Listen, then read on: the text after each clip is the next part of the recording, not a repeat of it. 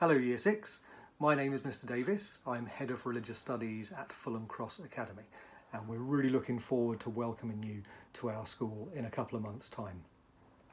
Now, some of you might be thinking, all of you I hope might be thinking, what am I going to be learning in religious studies for my first, first term?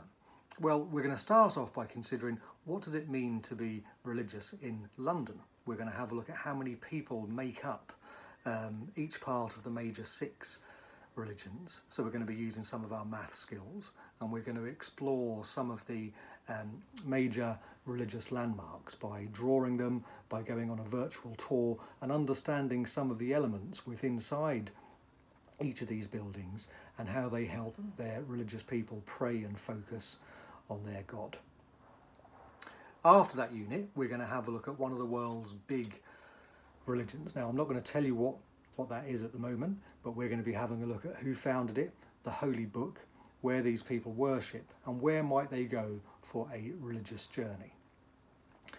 In terms of tips that I might have for you getting ready to enter our wonderful school, I would say familiarise yourself and get some basic information about the six major religions. Now you can find those by going onto a site like BBC Bitesize, typing in Key Stage 3, that's year 7, 8 and 9 religion, and you will get a list of those religions. Now you can read about their symbols, what do these symbols mean, who founded the religion, what are the holy books called, uh, and places of worship. So that would be a really, really good start.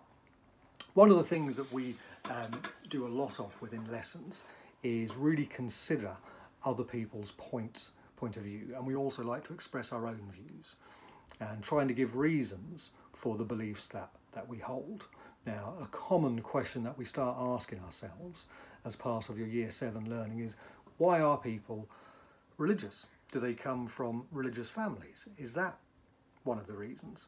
Why are people not religious? Do they not come from religious families? And just trying to understand why we hold certain beliefs is a really good starting point to get to know um, some of your own uh, views and some of the reasons uh, why you hold certain beliefs, but also to understand the community in which you're going to be spending so much time and having so, so much fun. Um, in terms of our extracurricular activities, we'll hopefully, depending on lockdown, um, try to visit as many local religious places as, as we possibly can um, and I'll organise some treasure hunts for us to see if we can find, using my cryptic clues, some uh, relevant religious treasure boxes around our school. If you have any questions or your parents have any questions, please write them down and be ready to ask them when we first see you in a couple of months' time. Really looking forward to seeing you all. Thanks again. Bye-bye.